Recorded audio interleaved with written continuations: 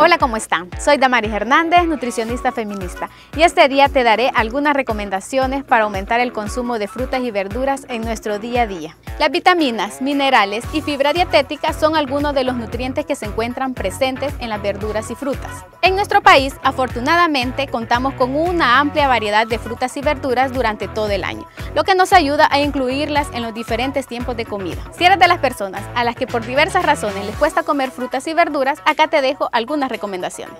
Enfócate en ir incorporando uno o dos cambios por semana.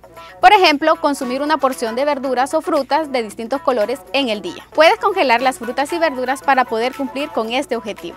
Aumenta el doble del tamaño de la porción de verduras que consumes habitualmente o incluirlas si no lo haces. Compra frutas y verduras de temporada, ya que son más frescas y baratas. Al sentir hambre o antojo, preferir una fruta o verdura antes que un churro, un pan dulce o una galleta. Agrega verduras a las preparaciones a base de huevo, por ejemplo, huevo entomatado, rellenos de whisky, de chile, etc. Planifica algunas comidas con un plato principal de verduras, como por ejemplo una sopa o crema.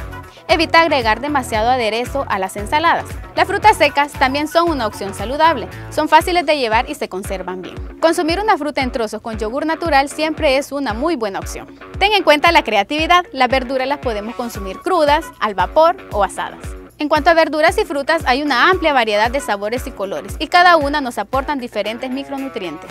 Te invito a que pruebes y experimentes con las diferentes texturas y sabores de las frutas y verduras. Puedes escribirnos a nuestras redes sociales y suscribirte al canal de Todas TV y Gaceta Suchitoto para más contenido sobre nutrición. Si quieres que abordemos temas específicos, puedes dejar tus propuestas en los comentarios. Y recuerda, consume local. Nos vemos en el próximo Nutri Informativo.